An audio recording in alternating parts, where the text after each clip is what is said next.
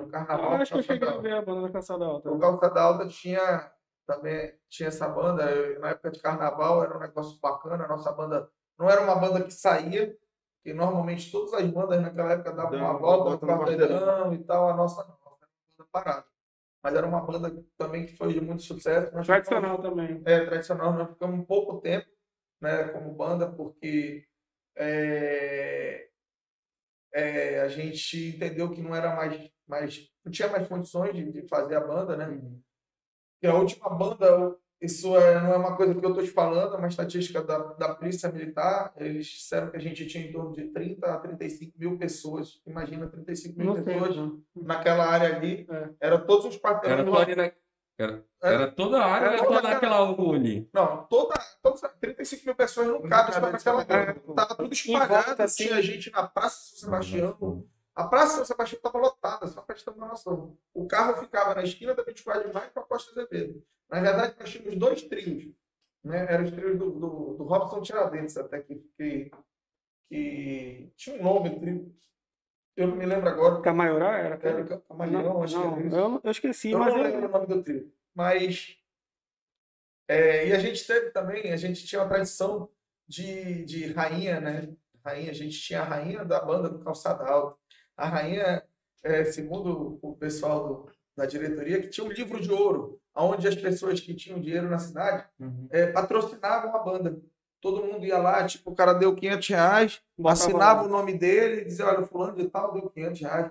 E tinha muita vaidade nessa época, então muita gente queria cobrir a a oferta do outro, terminava porque esse negócio pagava a festa todinha, porque se dava bem era o Portuga, né? então, e a gente tinha patrocínio da, da, da, da- a gente fez mais, a, a empresa que mais patrocinou a gente foi o grupo Simões, né? Que, que era Coca-Cola. A cerveja era Kaiser, não era uma cerveja muito vendável, mas a gente, mesmo assim, Só uma diarreia, mas conseguia arre- arre- arrebentar. E aí a rainha tinha um predicado o seguinte: a rainha tinha que ser velha, feia, né? Era o contrário, então. Era o contrário, era. Tinha que ser velha e feia, entendeu? E assim, eu não vou ficar citando o nome das rainhas, não. As mulheres vão ficar com raiva, Tem um né? colega que adorava tá nessa, É. nessa banda aí. Tem amigo, tem amigo meu que gosta de, de, uma. Pô, bicho, eu corro disso. Como ele chama? Sabe como é que ele chama? Ah. Tobol. É? Tobol, que são as velhas, mano. Pensa. Vida, bicho. Acaba É. gostar de velha. Na minha época a gente chamava esses caras de papa velho. Papa velho. Conheço. Aí teve um ano, cara, que apareceu é, uma garota lá, é, bonita pra caramba, tá? Da família Grosso lá, com esse pessoal que já foi das Frama, né?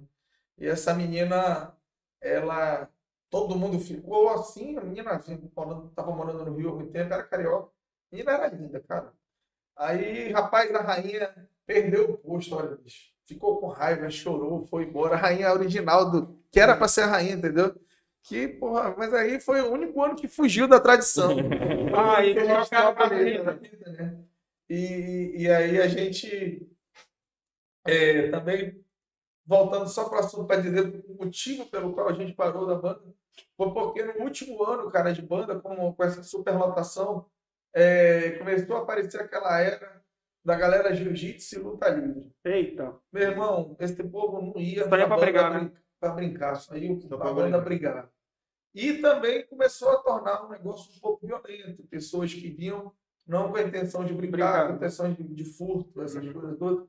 O mais o motivo maior, cara, foi assim, eu me lembro como se fosse hoje, a última banda a gente trabalhou, é, meu aniversário é dia 8 de fevereiro, a gente começou a trabalhar no dia 7 de fevereiro, às 5 horas da manhã, e nós paramos no dia 8 de fevereiro, às 3 horas da manhã. Então, quer dizer, eu trabalhei quase 24 horas direto. E o meu pai também estava lá. Meu pai já não era um cara mais novinho, né? Então, meu pai ia, a gente nessa época, a gente não tinha mais como tomar conta de todas as barracas. Nós é, terceirizamos as barracas. A gente entregava a barraca, gelo, bebida, toda a estrutura para o cara, o cara só tinha que vender, ele me dava um percentual. Entendeu? E, e aí, o que aconteceu é que eu fiquei até tarde trabalhando com ele, quando chegou no final, o resultado, não só financeiro, como o resultado da festa em si, por conta da violência, foi horrível. A gente contratava bandas boas, né? Teve um ano até que o Jorge Aragão cantou na nossa banda, eu tenho foto dele e tudo lá cantando no calçado. que é um cara conhecido do samba. Sim, sim, sim. E aí a gente falou, pô, não tem mais sentido continuar com esse negócio. É, a gente pode ser prejudicado, a gente tinha medo que acontecesse algo mais sério na banda, né? Própria imagem do. Própria do imagem, calçado, né? né, pra não queimar o nome da, da, da- do calçado, a gente decidiu acabar. porque não, Carnaval. não vai ter meio que como Não controlar. como, né? rua. É, rua é Não complicado, rua. E olha que nesse último ano a gente construiu um camarote, já pensando nisso. Uhum. Era um camarote bacana, um camarote de 10 pessoas. Nesse camarote o cara tinha direito a 10 camisas VIP, eram umas camisas mais trabalhadas, arrumadas, que eram patrocinadas também pela Coca-Cola. O cara já entrava no camarote com direito a uma caixa de cerveja, uma caixa de refrigerante, uma caixa de água mineral, 50 bolinhos de bacalhau e uma garrafa de whisky black. Então era um negócio que o cara já estava certo que ele ia gastar aquilo ali, ele podia brincar Sem se preocupação sem se preocupar com nada. Uhum. E se ele consumisse, ele, tava, ele tinha privacidade de banheiro, ele tinha privacidade de comprar mais fácil, tinha garçom para esse camarote. os privilégios do É, tinha camarote. os né? privilégios do cara, entendeu? Tinha segurança só para os camarotes que a gente colocou. Era um negócio, foi um negócio muito organizado no último ano, mas a parte de fora não tem como você organizar, vendedor É. volante, essas coisas. Mas voltando para o assunto da, da, da rainha lá, como é que a- as rainhas elas Ficou interessado na velha, mano. não, Ficou interessado na velha. Só não fala que a minha mulher tá assistindo. Aí, é, é, como é que elas não se sentiam ofendidas não pelos requisitos? Ninguém contava para elas, né? Como é que era isso então? Eram pessoas, eram pessoas da, que foram da sociedade, pessoas que Tá, mas que- e aí como é que era? é, era jornalista. Não, na Ah, cabeça delas Na era. cabeça delas era aí, pronto, entendeu? Essa, essa história aí. Puta! Essa história. Quantas já não foram que. Porra, agora sim dá pra dar. Não, a senhora que tá assistindo, que era a rainha da banda do calçado. Então.